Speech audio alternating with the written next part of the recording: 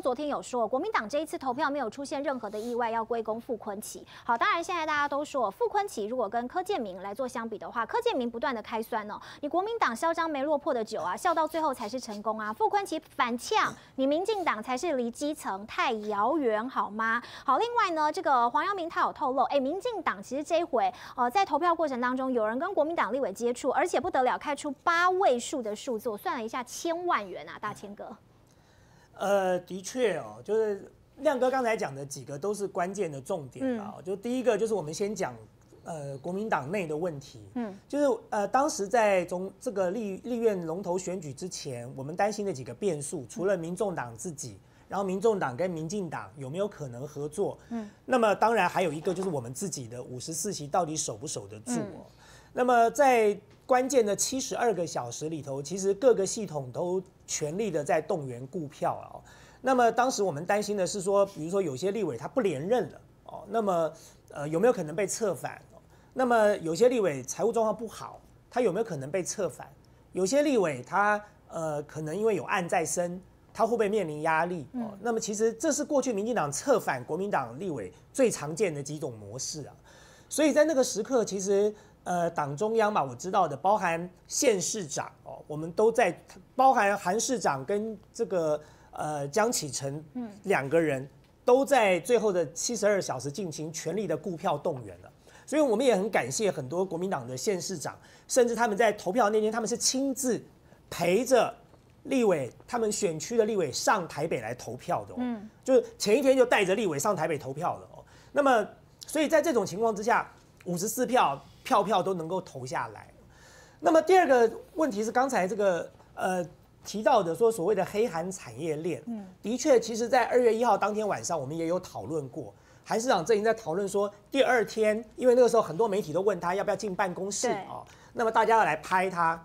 可是各位知道，亮哥也当过立委啊，哪一个立委二月二号要进办公室的呢？立法院还没开议，而且最重要的是，韩国瑜是一个新科立委，不管他自己的办公室。或者是院长的办公室，人家都是一月三十一号才搬走的。嗯，也就是说，二月二号这一天，这个办公室都还在装潢，还在打扫，把垃圾丢掉，搬电脑，接电线。嗯，那这个时候你叫韩国瑜去干嘛呢？他进去帮忙一起搬电脑吗？嗯，然后只是为了要给媒体拍一下那个画面吗？所以那个时候其实 韩正也有讨论过，就我们还要满足媒体到什么程度了？就当然，我们也可以演给媒体看，每天早上八点就坐在那里看报纸啊。反正我进了院长室，你怎么知道我在干嘛？嗯，对。可是问题是，这有意义吗？就一个院长该怎么做就怎么做啊。有谁管过尤锡坤二月二号在哪里啊？有谁管过以前王金平二月二号在哪里啊？我讲句实话，二月二号可能立法院有一半的立委都已经在国外了。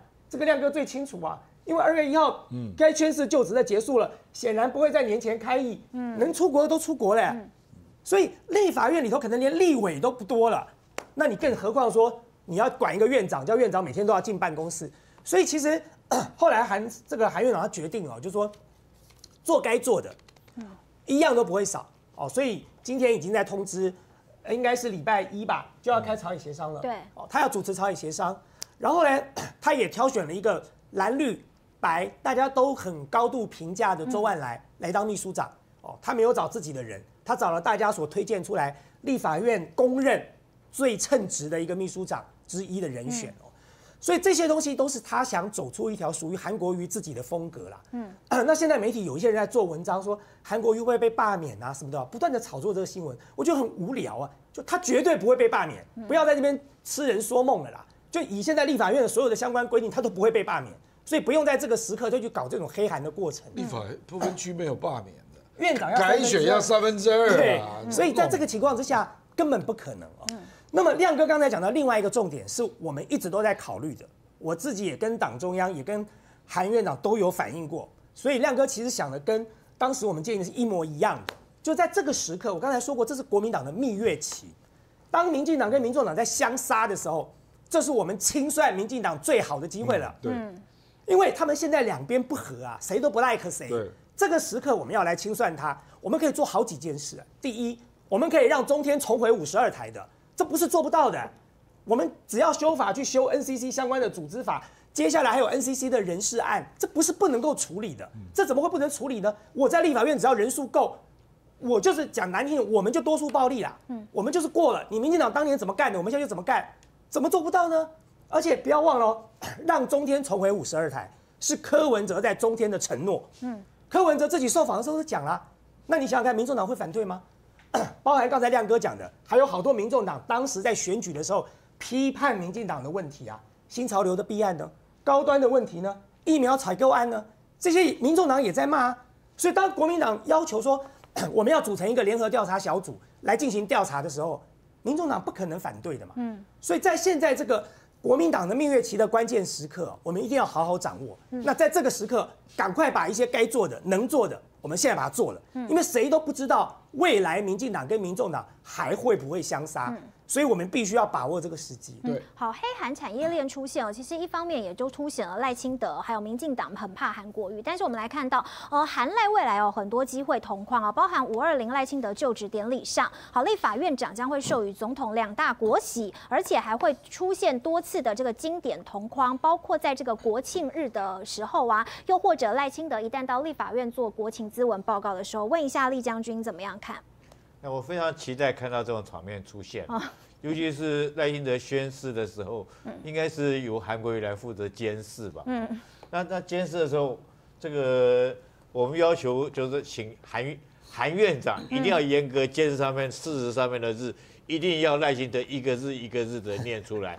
中华民国宪法，中华民国宪法，尤其是这个在韩国瑜监视下。请赖清德一定要按照这些字来念出来。嗯，哎，这监视人很重要，哎，对不对？他代表全民来监视你总统就职。所以，当这个经典画面一出现以后，我觉得这个可能有一些呃，这个绿绿粉，对不对？绿的侧翼来讲，大概玻璃心就碎了。嗯。那另外，在国庆，我们也很期待今年的国庆，那是由韩国瑜来主导。那我想不太不太会在，不可能在他当院长期间，不可能会再出现像。蔡英文当院长，呃，当总统的时候，这个台湾 National Day 类似这种，就是偏向台独的语言，或者是说那种 logo 设计的这个欲欲盖弥彰了，嗯，就是明明你就是要弃掉中华民国，不要，对不对？双十那很双十很经典一个图案，你就故意把它丑，把它这种呃用一个艺术假借艺术之名来扭曲中华民国国庆日的这个图案，我想应该不会再出现，应该再回复以前的这种。国庆的这种图案，那我在想说，哎，今年的国庆应该也更能够展现各方融合，呃，各个族群融合的一个盛大一个场面，而不会只凸显往台独靠的这种，让人家有过多的联想，有有过多的那个。我认为说是这国庆是非常重要的，为什么？因为你这东西展现国家的，因为一个总统最重要两个两次的谈话嘛，一个是国庆日的谈话，一个是元旦的这个告全国。同胞书这两次的谈话是非常的重要。那国庆的内容所表现的，其实全世界，尤其是大陆方面也会仔仔细在看。你代表你不要老是用切香肠，这蔡英文很糟糕的事情，他对中华民国老是用切香肠的方式，一段一段，尤其是在国庆上面那个几个，大家都很都很清楚，你是在切香肠，对去中化，然后。哎，你说这个大陆他们了不了解？他们了解，所以他现在生意就是你每次在那边切香肠，然后你从这边切，就解放军从这边切，切到最后中间那段就我们老百姓，那最后就是我们被被放在板块上砧板上面那块肉，最倒霉的是我们这些老百姓。所以我们希望来讲的话，你今天呃韩国如果能够当上院长，最起码在国庆的时候，你不会再像呃。不会再有切香肠动作。那你如果说没有切香肠动作，解放军那边大陆也四出三也不要再往这边切香肠，我们老百姓就有很大一个空间可以生存。我觉得最大意义在这边了。太阳星全效克菲尔益生菌，我吃了两三天，最明显的感觉是睡眠品质竟然变好了。睡得好，让我整个人工作更专注，心情也变得更稳定更好。因为太阳星全效克菲尔益生菌，才让我认识到克菲尔益生菌，它是由多支菌种的益生菌所组合而成。不仅能够维护消化道机能正常运作，还拥有多种有益健康的保健功能，相当强大。你知道吗？有台大教授专门研究它，称它是神仙的礼物。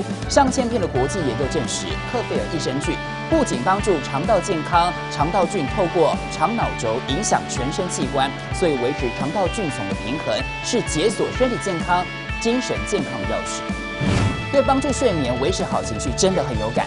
也因为这不是药，有季节敏感、代谢困扰、关心恶性细胞风险的好朋友，选择太阳型全效克菲尔益生菌，做好日常的保养，身体健康没负担。